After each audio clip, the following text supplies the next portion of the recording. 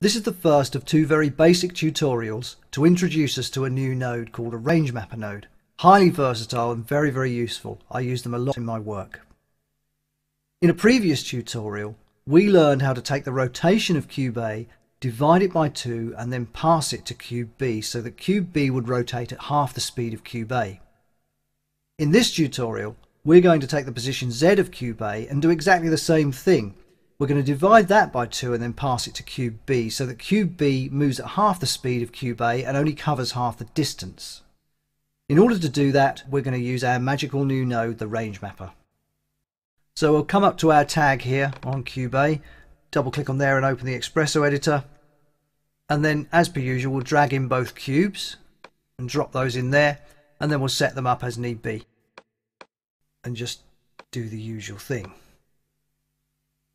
At cube A's output stage, I'm going to go to coordinates, position, position Z, and then I'm going to do exactly the same at the input stage of cube B. There we are, position Z. So now we can bring in our range mapper. So we'll go to new node, Xpresso, down to calculate, and then range mapper. And there she is.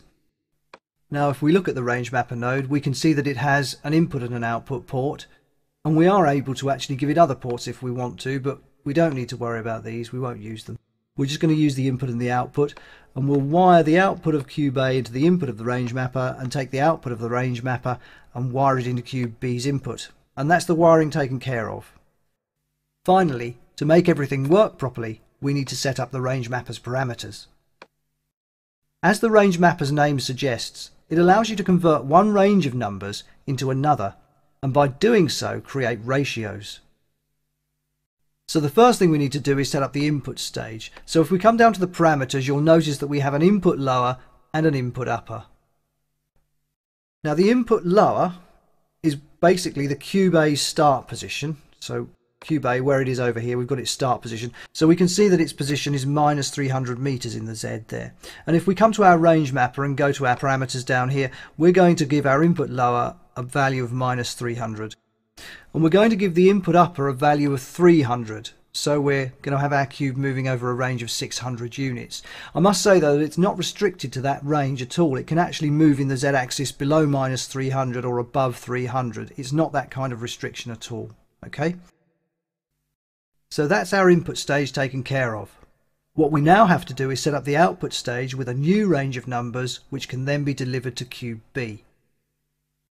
And for this, we need to put cube B's start position in the output lower. So we'll just click on it and it's jumped to zero there. And the reason for that is because in the output lower at the moment, we actually have a zero.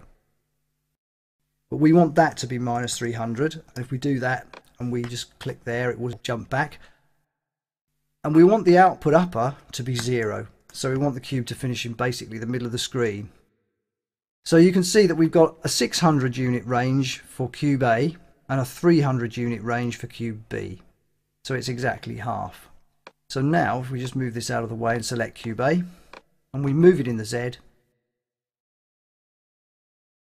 cube B only moves half the distance and at half the speed. And that's that taken care of. Earlier I mentioned that cube wasn't restricted in any way and that it could go above 300 and below minus 300. At the moment it's at 400 and it's also true that cube B isn't restricted in any way, neither of them is constrained to their number range. However, if you want cube B to be restricted, you can actually do that. If we come up to the node properties here, we've got clamp lower and clamp upper. Now these refer to the output stage. They don't alter the fact that cube A can move beyond its range of minus 300 to 300. That's not restricted by this. It's the actual output stage that's restricted. So if we check these two boxes, and now if we move cube A below minus 300, we find that cube B actually stops dead at minus 300. Similarly, if we move cube A along here and we move it above 300, cube B comes to a standstill at zero. So that allows you to clamp the output stage. It stops cube B from moving beyond the actual output range that you've set. But A is allowed to continue on its sweet way. That's another little thing that you can do with it. There are other things, but I'm not going to go into those in this tutorial. That concludes our first look at the range mapper node. and I hope it's given you an inkling as to how useful and how versatile a node this really is. In our next tutorial we'll take things a little bit further and do something slightly different. I'll see you there soon.